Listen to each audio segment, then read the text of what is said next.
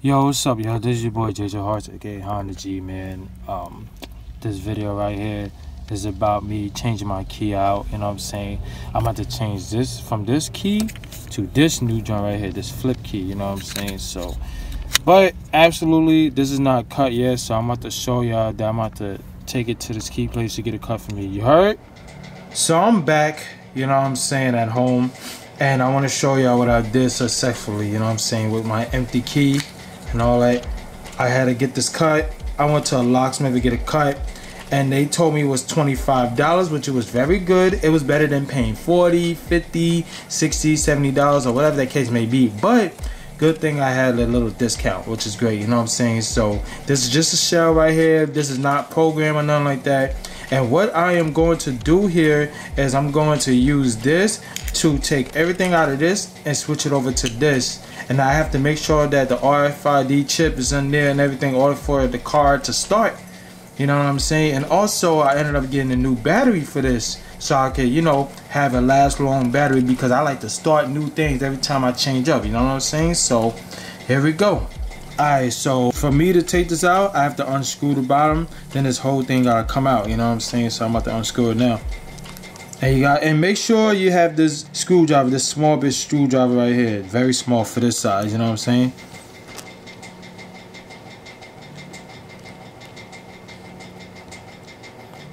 There you go.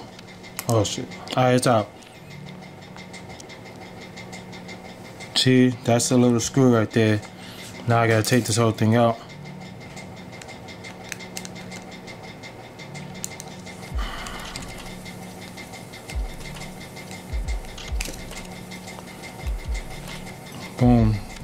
Then you see you take this back out. Then you gotta take this off. This whole little thing. Then you switch it on to this right here. You know what I mean? See now for this, you gotta pull this part out. You gotta pull this part out off you to take the battery out. You know what I'm saying? This is the chip and all that. You have to be careful. Don't mess with it. And this is a battery right here that I'm about to switch out.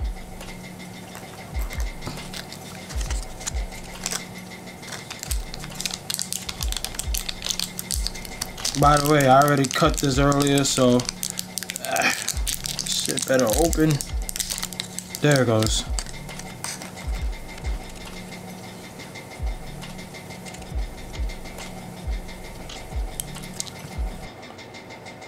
Took it, took the old one out. The battery's been out, so I'm about to put this new one in.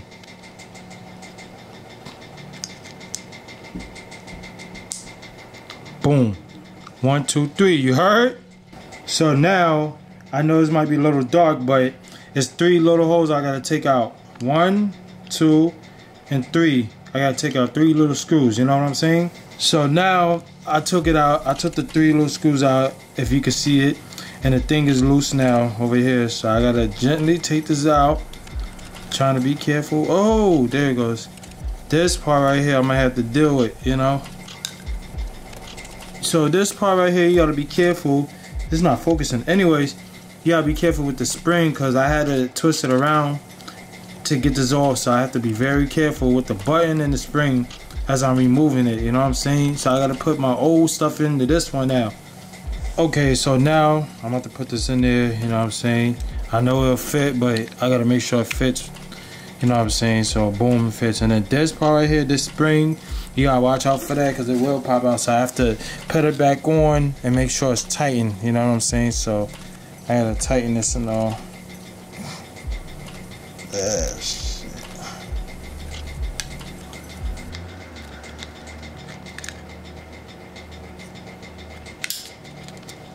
See this joint, this joint is crazy right here.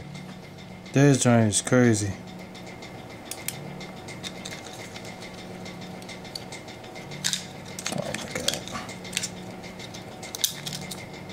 This joint's driving me nuts.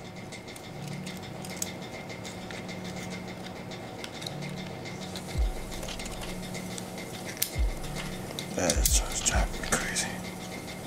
Mm. Am I able to flip it?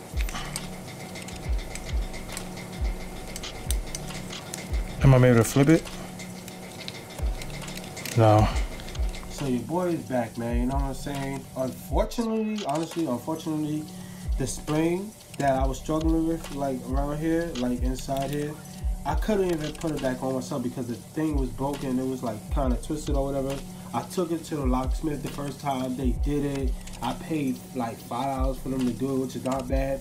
Then the second time was that I had to take, I had to replace the new key. You know what I'm saying? Because I ended up buying a new shell and I just put the new spring on to this one. I had them swap it out for me for like two dollars. So that's like light work. They did it. They put it. They put everything back together for me and all, which I'm really happy about. I didn't have to recut this or nothing like that because I already had a cut from them anyways, which is good. So I don't have to pay for that. But good thing that I was able to get it fixed myself and also if I feel like I can't do it myself, I could get somebody that's professional to help me, you know what I'm saying? Like I'm not perfect and I don't think that I'm better than everybody. That is so impossible because everybody has a different gift on their life, so I can't really accommodate too much on it. But anyways, also I wanted to talk about is it should work because it has like a microchip inside inside the motherboard in here, you know what I'm saying? Like where the buttons is and stuff.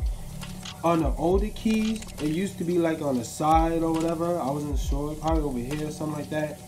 And them newer keys, which is from 2008 to 2012 Accords and more, and Civics and other cars or whatever, they don't have the outside chip no more. The chips is installed this to make it harder for you to start the car if you change the chip or whatever. But I'm gonna test the car out, make sure it starts, you know what I'm saying? I know the buttons will work because I already changed the battery to a new fresh battery for it's gonna last me a minute. Alright, so I'm back.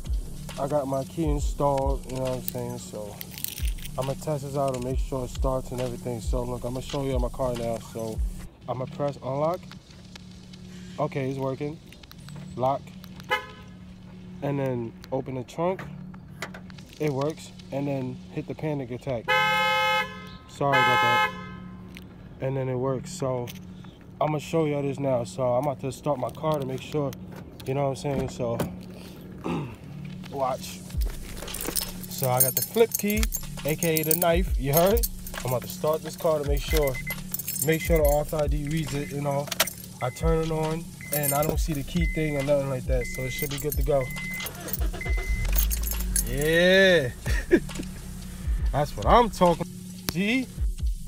Yeah, so it worked. It literally worked. You know what I'm saying? So I honestly want to thank y'all for watching my video and stuff of me converting my original OEM key to an aftermarket flip key, you know what I'm saying? And I'm gonna be real with y'all, I just wanna be fancy a little bit, you know what I'm saying? Not too fancy, but I just liked it, the flip key because it looks good, you know what I'm saying? It looked like a, a, a flip knife and stuff, you know? I, I don't wanna, you know, promote weapons, but I'm just saying, you know what I mean? So that's all I gotta say for now. I honestly wanna thank y'all for watching this and I got more videos coming up soon, so I'm out, man. Deuces!